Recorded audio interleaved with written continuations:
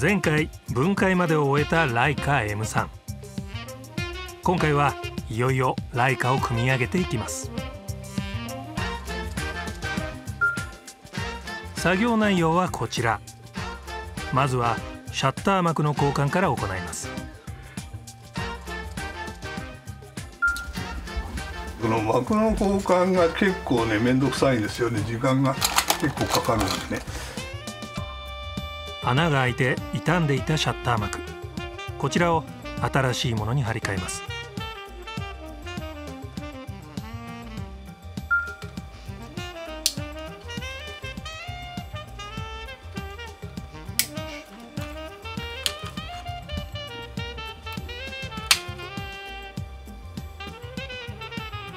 地味な作業ですからね。あまり絵にはならないと思うん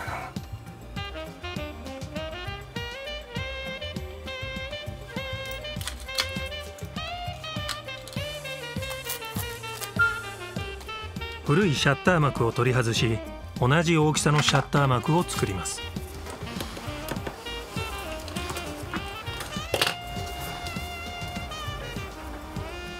少しでもサイズが違うとダメなのでしょうか？えダメですよ。結構だから地味地味な作業だけど正確にやっていかないとまずいんだよね。サイズを合わせたシャッター膜を接着剤で固定プロなら正確につけることが当たり前なんだとか。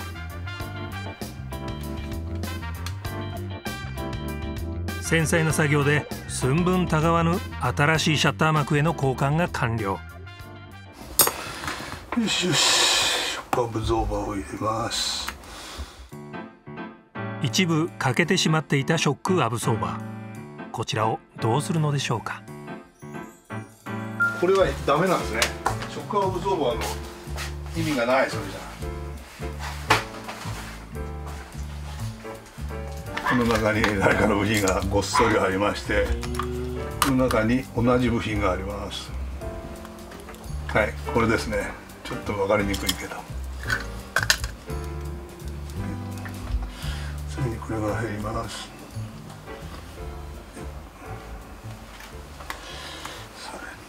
あれ？違うよ。この前のお兄さん反対に入れてた。おかしいなと思って。そうだよな。これ変だなと思ったんで反対に入れてたの。だから割れたんだ。前回修理されたのは1972年。50年も前の修理ミスを発見しちゃうんだから。すごいね早田さん。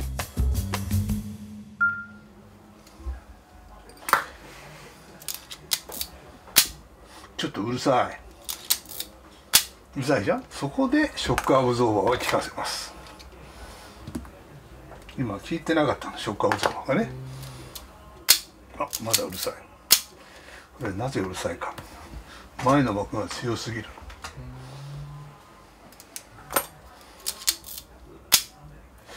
後ろの膜が入っていかない。後ろの膜が入っていかないのはなぜだ？なるほどね。このバネがねかけ間違いしてました。お。分かった？この後ろのバネのかけかけ間違いだった。えすごくこのおじさんはいい加減なおじさんだった。けどー、結構早田さんによって直されたシャッター音を聞き比べると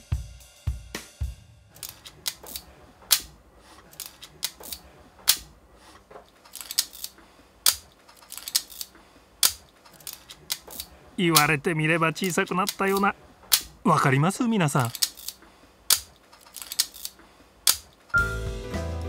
次に行うのはシャッタースピードのチェック。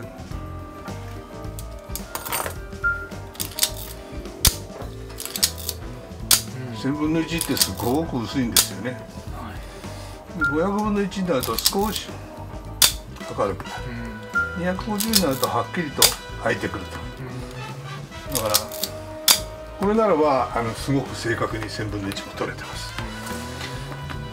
通常は機械を使って測定するシャッタースピード。熟練の早田さんともなると肉眼でわかるそうです。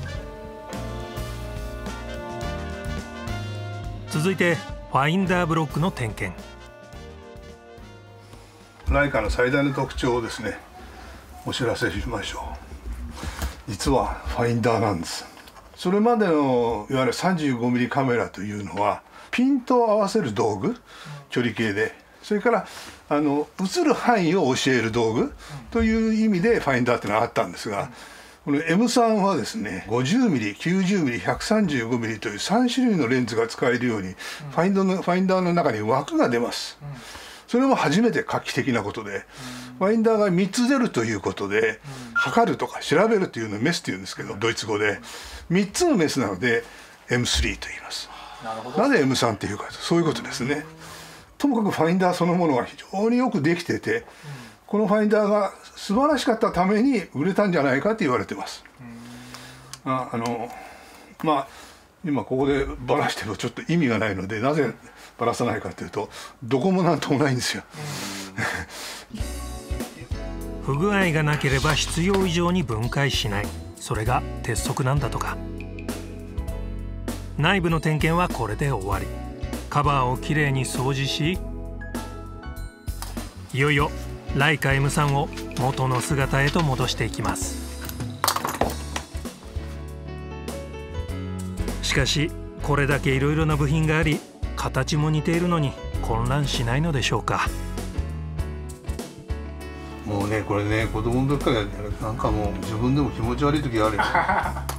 落っこってるビス見てあこれは何のどこであれでなんでわかんだろうなって自分でも思う時すごいよね。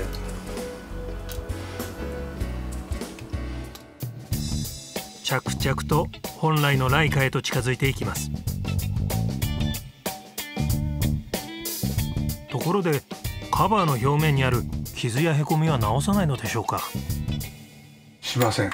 これはねこのカメラの歴史ですから。上カバー新品あるんですよ来館者行けば。ボディ番号ちゃんとこれと同じ番号打ってくれますから。だけどそれは何の意味もない。ただまあ綺麗だったことは確かなんだけど、うん、持ち主にとってみれば何でもない何の意味もないことでここに傷があるのはあこの傷はあそこに旅行行った時この傷はあそこへ持ってって写した時にやった傷とかいうのが、うん、カメラに歴史として残ってるわけじゃないですか、うん、自分では普通やらないですよね。自分のカメラの歴史だと思うから。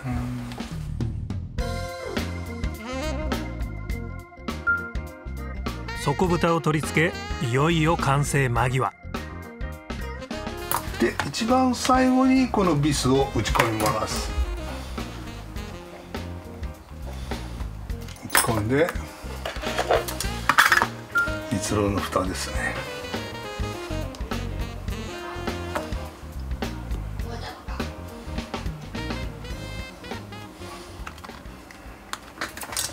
さてこれ次はちょっと映るかな映らないかな。これね漢字で流行って入ってんの分かる。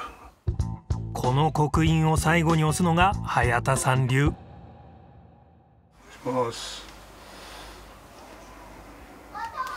はいこれでもう見えないけどこれよく見ると中に流行って打ってあります。一番最後にこれをやるやって終わりという。これで納得して締めて終わりという感じですね。びっくりしたのはねケルンっていうドイツのね街のねオークション。漢字で流行って入ってる M 型があっ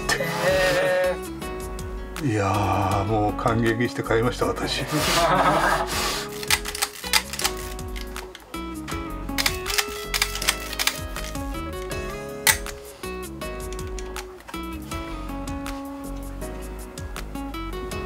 ん綺麗です。大丈夫カメラのことを語る早田さん。本当に楽しそうだったな。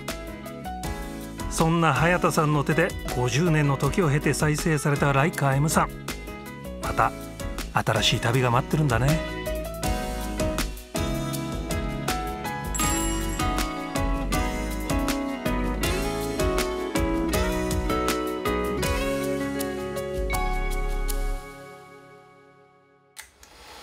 オッケーでございます。えー、高く売らせていただきます。BS 富士に出たカメラです